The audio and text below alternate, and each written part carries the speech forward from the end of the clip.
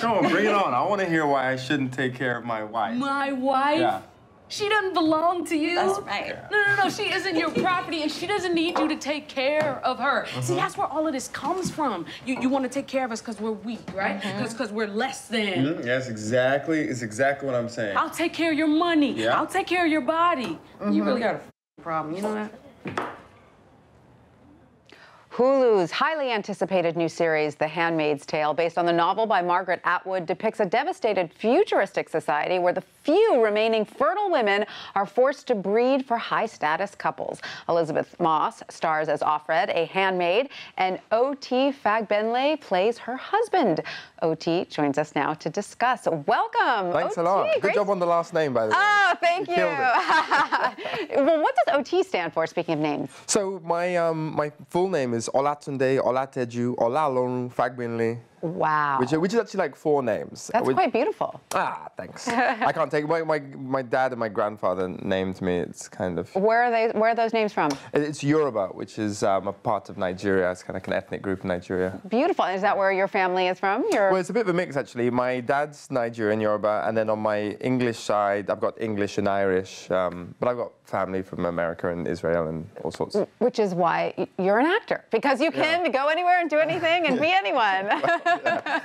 That's fabulous. So tell us a little bit about the process of working on The Handmaid's Tale. It's such a dark vision of a mm. futuristic society, but it was written in the 80s. Right, right. So why do you think it still resonates so much with audiences today? There's a lot of buzz about this mm-hmm. series. I mean, I, I think it, it resonates on so many different levels. But I, fundamentally, actually, although there is like a political side about, you know, the way that men can try and control women's bodies and the way the powerful try and manipulate the, the less powerful, for me, one of the ways it really resonates is about a woman who's struggling against the odds to try and keep her family together.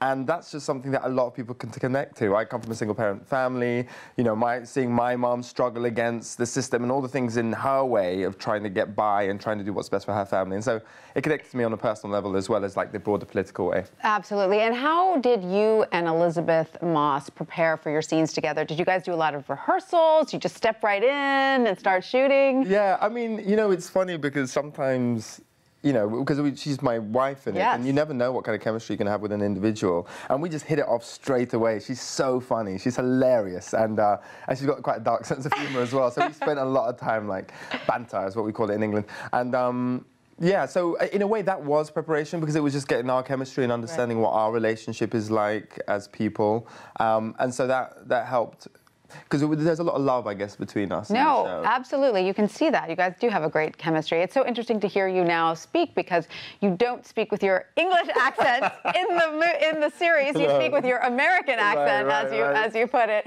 So, do you often play American characters? Yeah, it's really funny actually. I think you know you guys have got such a great history, especially in playwriting, of this am- amazing playwrights you have, um, African American playwrights. And so when I first graduated, I was a theatre actor. I went to RADA and I graduated. and I Yes, the very theatre. prestigious Royal Academy of Drama. Yes, we've heard of it.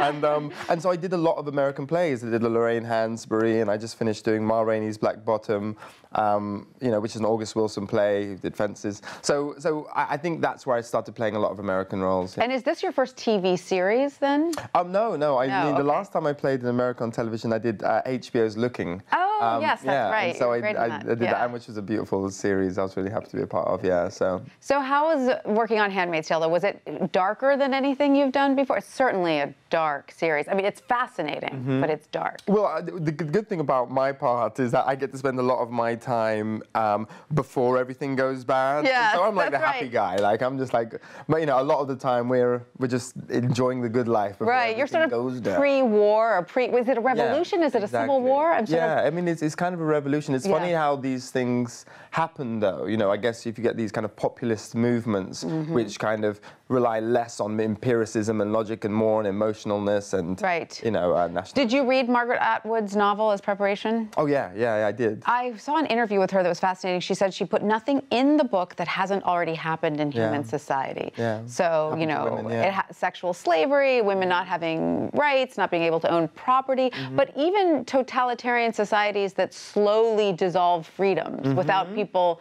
realizing it. Exactly. All of that has happened already. yeah, and, and, and has happened, and when we have to kind of remain stalwarts and like Yeah. and keep our eye out for the ways that big governments and big businesses sometimes try and undermine our rights, and they can do it in so many ways. Absolutely. Now, I understand that you are also a musician, or you were at one point. Do you. Yeah. still play? Yeah, I do not as much as I should. Like, it's funny. I was just on my way here. I was talking to my little brother, and I was because he's um, he's getting him saxophone lessons. I've been trying to because I play sax. Yeah. I've been trying to encourage him to practice every day, and I was like, I'm such a hypocrite. I'm not. I don't practice But um, yeah, I do. Um, I do write music and some. That's fun. So, triple threat. Do you do you sing as well? I have been known to sing mainly in the shower. I've done a couple of musicals. I did Porgy and Bess, another American role. So you dance too. You, you Uh, do it well, all. yeah, a little bit, a little bit. yeah. That's great. And so, what is next for you after this series? Um, well, actually, I um, I write and uh, and direct, and so right now I'm developing um, a show back in England. It's a comedy. So Oh, um, fantastic. After this, the darkness of The